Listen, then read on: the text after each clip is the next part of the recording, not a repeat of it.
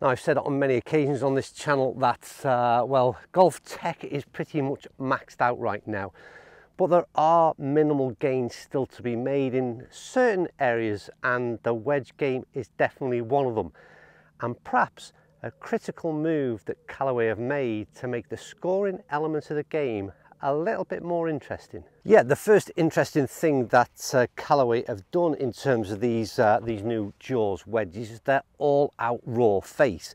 And what that basically means is the grooves are not coated. So once they're cut, once they're milled, there is no additional layer of coating put on the top. So essentially they remain as sharp as they can be uh, within the rules, of course, to retain as much control and spin as possible. And it's interesting because so many of the manufacturers have now gone with this raw finish and that's the same case with Jaws. What's also interesting is uh, I managed to find the middle of the fairway with uh, a new swing that I am working on right now. So uh, bear with me.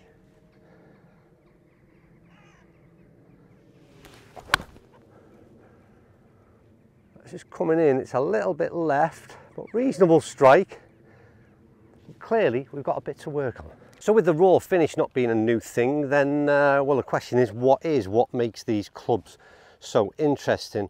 And uh, I'll explain that very shortly, but partly is in this club that I'm holding right now. Spin. That's not bad.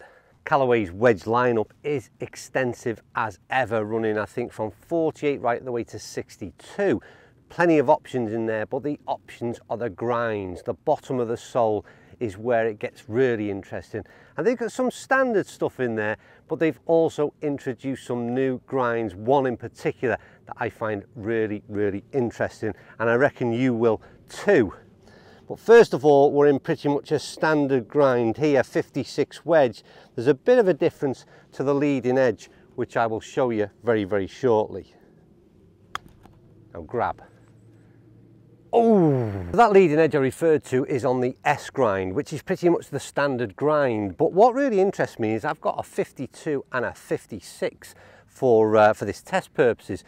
And they're both S grind, but the difference is that leading edge on the 56, which I find really, really interesting and appears on the number of the wedges. And if you look very closely, it's very much a, uh, there's some relief given there's a chamfered leading edge. And what that does for me is it sits really tight to the turf, which I really like. And in the chip shot that we've just played on that very, very tight lie on the fairway, you're just looking to nip it off the top. It just breeds that extra little bit of confidence. And for me, short game is all about that one thing. It's about confidence. So whilst it mightn't even have any great impact on my ability to clip it off the top, in my head, I'm thinking I'm sat so tight to it, so neat to it, that it's just going to clip it and pick it up so cleanly. So what is new? Well, the interesting development is the fact that Callaway have added tungsten weight into their wedges for the very first time. What, allow, what that allows them to do is very much control the placement of that CG and it's very much centering the club face on these things. It also improves forgiveness and enhances the feel as well. So it's a real interesting move and something I'll talk about later on when we hit a few more shots because it is a very noticeable change to the feel in particular, uh, in my opinion. Right, I'm going to carry on in a few shots while I uh, try out my new swing.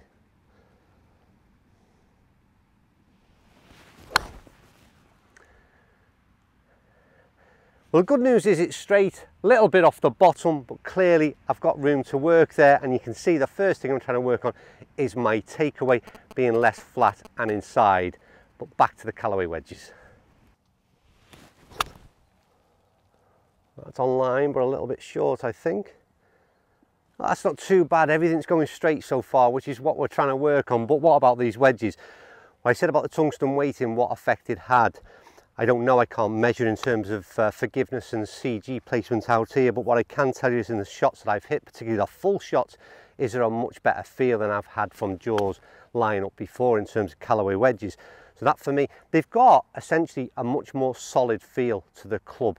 And when it comes off that club face, it just feels like a solid, pure, milled, forged type of wedge if you like. Really good soft feel, but really solid is the build quality that I would suggest. And like I said, apart from that, What I'd like to next talk about is just how good these things look. Now these clubs look incredible as a group of wedges in your bag. Well, they look quite stunning. They're available in chrome and uh, this black option, which I've got. And uh, quite honestly, I think the black looks uh, stunning.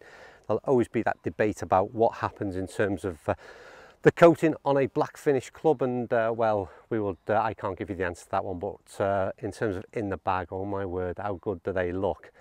But let's talk about those uh, grinds and uh, what are the differences between the three options that they give you? So as I said three grind options uh, W S and X grinds and um, I'm not going to try and relay all the different uh, lofts and grind availabilities, but hopefully Hannah's put them on screen for you now. What I will talk about is visually what I can see in terms of the difference between the S grind and the ZZ grind, however you want to pronounce that. And it's very, very noticeable. The first thing I mentioned earlier was that if you take a close-up look between the 56 and the 52, both in S grind, you'll see the bit that uh, interests me, and it's that um, extra bit of chamfering from the leading edge on the 56 as opposed to the sort of flat uh, lie, if you like, that is on the 52.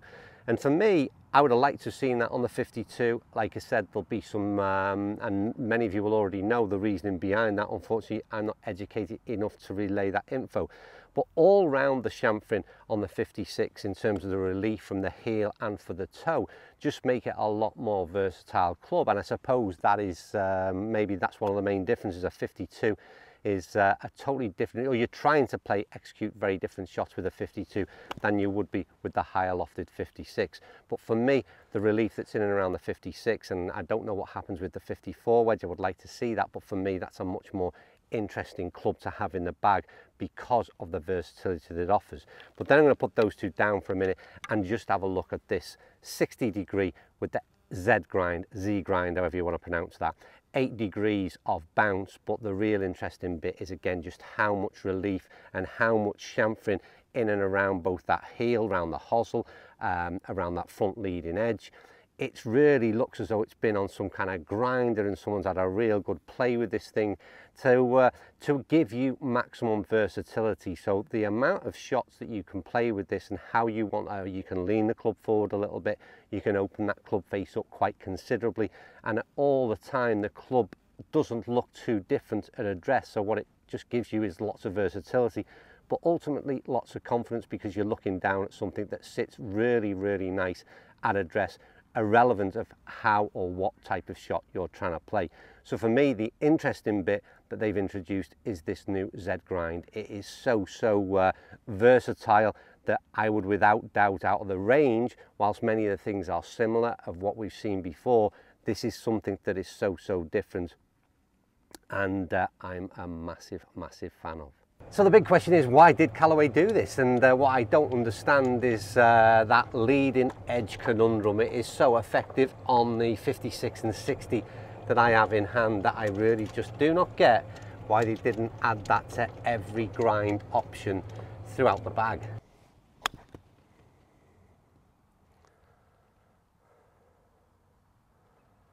The interesting thing for me is, uh, I'm perhaps stating the obvious, is that the grab on this is really, really sharp indeed. You see on that sort of second bounce, the ball really seems to uh, to grab and you can almost feel it again coming off the club face. But it's hard to be sort of, uh, these are brand new wedges, never been hit before. So if they ain't going to perform now, they're never going to perform. But the interesting thing would have been, you know, just how much difference that would be in sort of six months from now. But right now, the, uh, the wedges I'm currently playing, do not feel like they're getting the same grab as what I'm getting with these, uh, these brand new wedges straight out the box. Right, so we've gone 56 in low, we're now going 60 up high. That's a much more difficult shot to play and why it's not the right choice, but you can see how easy it is to pop that ball up. Problem you've got with that type of shot, we've demonstrated many times before on this channel, is that is a high risk strategy and when you've got nothing between you and the flag, keep that ball as low as possible because gaining uh, distance, flying all the way, is, uh, requires a hell of a lot of skill and clearly one that I don't possess. Yeah, I've got to say, uh, I don't always feature wedges on a review because I find them difficult reviews to do and like I said, very much of what I'm going to say today is very uh, personable. But I'm super impressed with the way these things play. Uh, two 60 degree wedges, you're going to watch me play now, which is one out of the bunker. Again, open the face up on this even though we've got 60 degrees on it and uh, it's just so nice and easy to play out that bunker and then we took a ball back behind the bunker and looked to play that real high flop shot that comes down dead and stops and yet again open the face up and uh, it just clips the ball so cleanly super impressed but in particular this 60 model and this uh, Z grind is the one that stands out for me oh I'm loving this thing you know just spin, sit and spin. Oh, do you know what? The control is so good. I've only, to be honest with you, played full shots with the 52 wedge, but again, the ability to sort of change the ball flight has been really, really good. You can either pop it up there from the front foot or with that one just a little bit backward in the stance. It zips in, takes one stop and grabs. And like I said, the, uh, the spin control over the grooves has been really, really notable. But like I said, they are brand new wedges but then the control of distance with the wedges has been really really good as well and uh, like I said the versatility of each type of shot we've played so far this morning has meant that these are a really really impressive set of wedges I don't know the RRP but no doubt Hannah will throw that on the screen for you now and uh, I guess they'll be expensive because everything is right now but what I will say is Callaway have produced a real interesting set of wedges with so many options that you should be able to find one that suits your game Anyway, I'm done. Early morning start here. We move on to the next one at Carden Park. Hope you've enjoyed this. Give me your feedback and your thoughts on the Callaway Jaws Raw wedges. And I'll see you all soon.